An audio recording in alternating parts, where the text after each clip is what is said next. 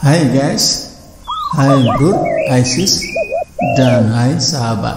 Kali ini saya akan coba mengulas tentang filsafat Jawa dari dimensi falsafah kejawen. Saya ambilkan intisari bagian-bagian kecilnya supaya tidak terlalu panjang ya. Misalnya dumatining siro iku lantaran anane popo biung iro. Lahirnya manusia karena berkat adanya kedua orang tua. Ketemu Gusti iku lamun siro tansah eling. Bertemu dalam tanda kutip bertemu Tuhan dapat dicapai dengan cara selalu eling. Cokro manggilingan Artinya kehidupan manusia akan seperti roda yang selalu berputar, kadang di bawah, kadang di atas. Zaman iku oah kingsir. Zaman akan selalu mengalami perubahan. Gusti iku dumunung ana atining manungsa kang becik. Mula iku diarani Gusti iku bagus sing ati. Gusti bagus sing ati. Tuhan berada di dalam hati manusia yang baik. Oleh sebab itu disebut Gusti, bagus sing ati. Kahanan dunya ora langgeng mulojo ngegungake kesugihan lan derajat ira. Awit samangsa ana wolak-wali ing jaman ora ngisin-ngisini. Keadaan dunia tidaklah abadi maka jangan mengagungkan kekayaan dan derajat pangkat. Sebab bila sewaktu-waktu terjadi zaman serba berbalik, tidak menderita malu. Namun siro durung wikan alam iro pribadi, moro takono marang wong kang wis wikan. Bila Anda belum paham jati diri pribadi, datang dan tanyakan kepada orang yang telah paham.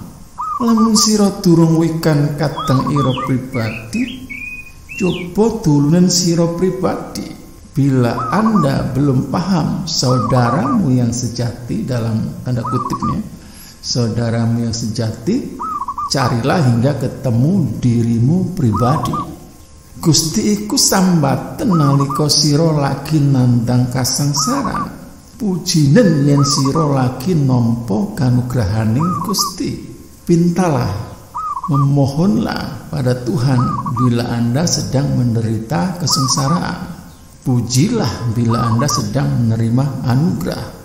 Alhamdulillah wa syukurilah lamun ana janmo ora kepenak sira aja lali nyuwun.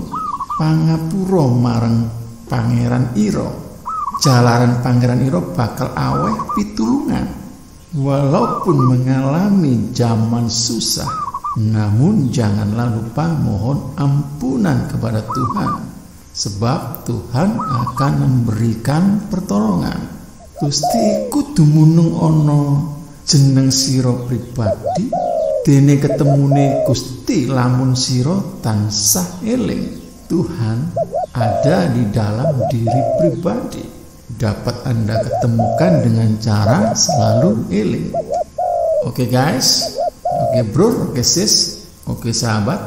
Sebenarnya kalau kita membahas tentang filsafat Jawa, khususnya terkait dengan bab kebatinan, mungkin tidak ada habisnya berhari-hari diulas. Karena falsafah kejawen ini sebenarnya sebenarnya adalah mencakup ilmu ngaji ning ati, ngaji urip.